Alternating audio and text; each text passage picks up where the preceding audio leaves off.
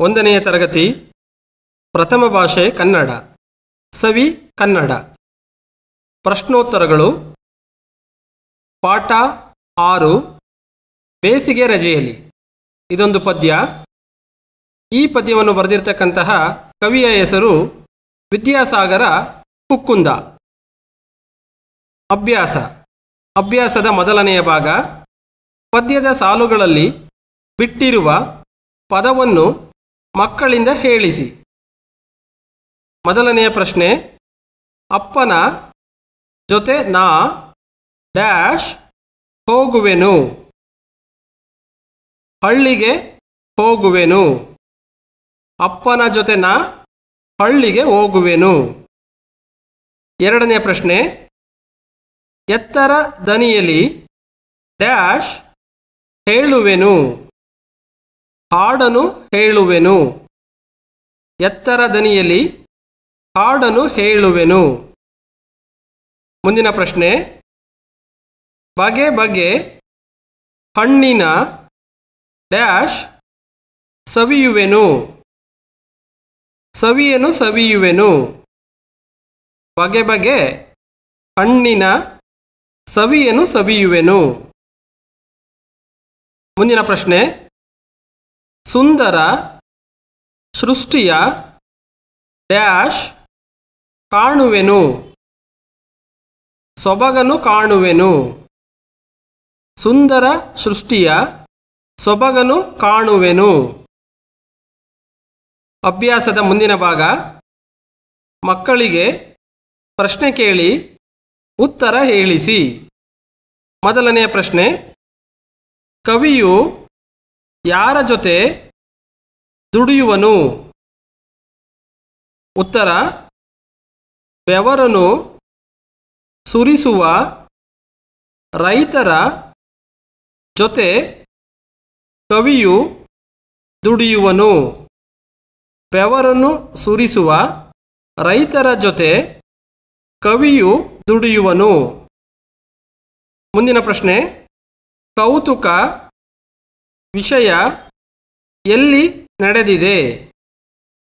ಉತ್ತರ, ಜಗದಲ್ಲಿ ಕೌತುಕ ವಿಷಯ ನಡೆದಿದೆ. ಜಗದಲ್ಲಿ ಕೌತುಕ ವಿಷಯ ನಡೆದಿದೆ.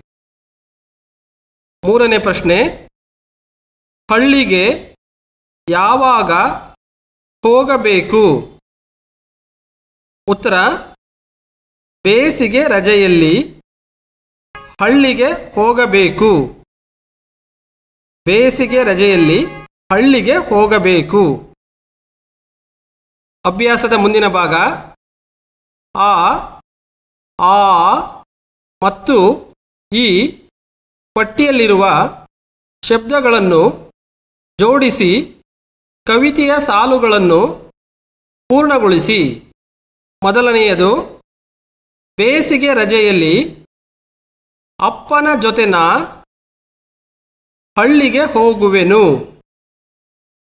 ಉತ್ತರ ಈ ರೀತಿಯಾಗತ್ತೆ.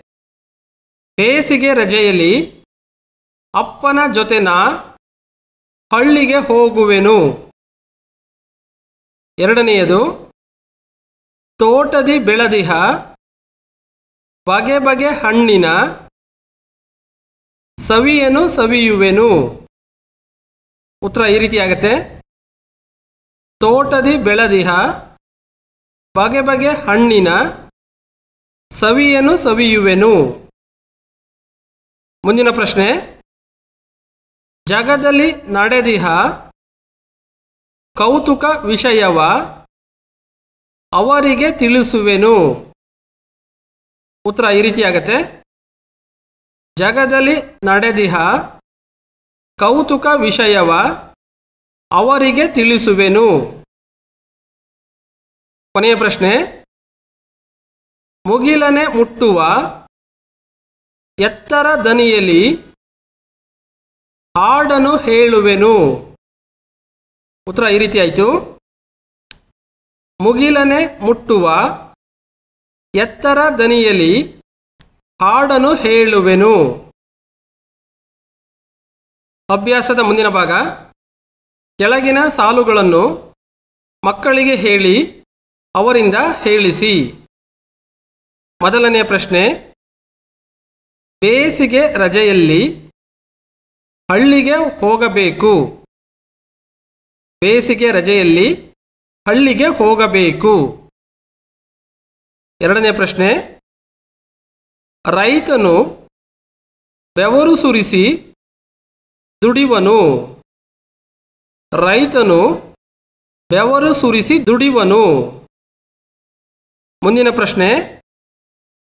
ಜಗದಲ್ಲಿ ಕೌತುಕ ವಿಷಯಗಳು ನಡೆದಿವೆ. ಜಗದಲ್ಲಿ ಕೌತುಕ ವಿಷಯಗಳು ನಡೆದಿವೆ. ಮುಂದಿನ ಪ್ರಶ್ನೆ. ತೋಟದಲ್ಲಿ ಬಗೆ ಬಗೆ ಹಣ್ಣುಗಳಿವೆ. ತೋಟದಲ್ಲಿ ಬಗೆ ಬಗೆ ಹಣ್ಣುಗಳಿವೆ. ಮುಂದಿನ ಪ್ರಶ್ನೆ. ಸೃಷ್ಟಿಯು ಹಚ್ಚನೆ ಹಸುರಾಗಿದೆ. ಸೃಷ್ಟಿಯು ಹಚ್ಚನೆ ಹಸುರಾಗಿದೆ. ಕೊನೆಯ ಪ್ರಶ್ನೆ. ಹಾಡನ್ನು ಎತ್ತರದ ದನಿಯಲ್ಲಿ ಹಾಡಬೇಕು.